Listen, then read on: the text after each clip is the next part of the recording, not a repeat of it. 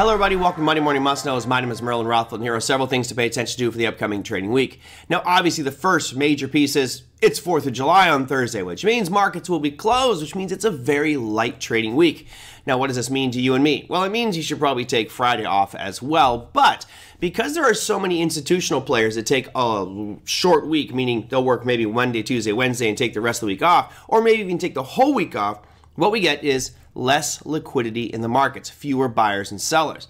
Now, at face value, you may think that the market's going to be relatively flat and not a lot happening. That may be true, but because you have low liquidity, all it takes is one large order from anybody could move these markets and cause dramatic swings in volatility. So be careful on this week in any particular day just because volume will be lighter and you'll see that reflected in the price charts, but you may get some big moves. The safest thing to do just don't trade it. Take some time off and enjoy your friends and family and that 4th of July holiday. All right, let's get to some data and news. Talk about Jerome Powell, chairman of the FOMC, will be giving some presentations. Oh, yes, one of which is at the European Central Bank. That's going to be a forum on central banking happening Tuesday at 9:30 a.m. Eastern Time. Don't expect any big fireworks there from that presentation. However, you know, when Jerome Powell speaks, the whole world listens, and any little word could cause dramatic swings in price. Your next announcement is not really Jerome Powell by himself, it's really the FOMC meeting minutes.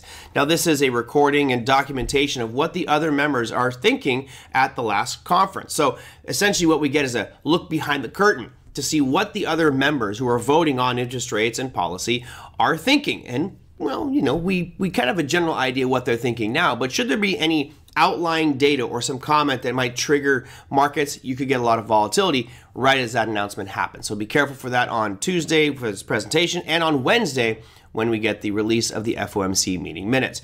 Moving on to data, we do have some employment data to speak of. We start things off with the JOLTS job openings. That's going to be happening on Tuesday at 10 a.m. Eastern Time. Not the biggest announcement. This one's much bigger happening on Wednesday, which is the ADP non-farm employment change. That's going to be at 8:15 a.m. on Wednesday, followed up closely by the unemployment claims, which normally happens on Thursday, but because the markets are closed on Thursday, they have decided to move this to 8:30 a.m. on Wednesday. And finally, on Friday, you have the unemployment rate and non-farm employment change, both happening at 8:30 a.m. Eastern Time.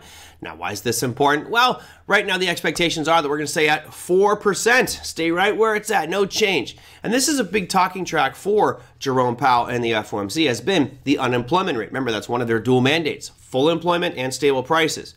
So 4% is historically pretty low with regards to unemployment rate, but if it does start to move up more, then they may be pressured to lower rates, which I'm sure many of you would be happy with because that might juice these markets.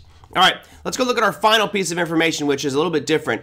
A few weeks back, we talked about the EU elections, and that, that shook the boat a little bit. And a lot of these countries had changes in their leadership, kind of like in the United States. When you go from a, let's say, a Democratic president, and all of a sudden we switch to a Republican president, everybody's wondering, well, now what changes? How does our relationship trade? How does trade change? How does taxes change? So it shuffles the deck a little bit with regards to how those countries and their governments operate.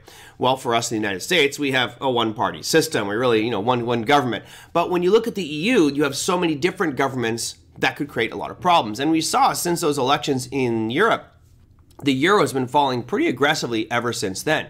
Why do I bring this up? Because we have elections for the UK as well. There are the UK Parliament elections. There are 650 seats up for election here.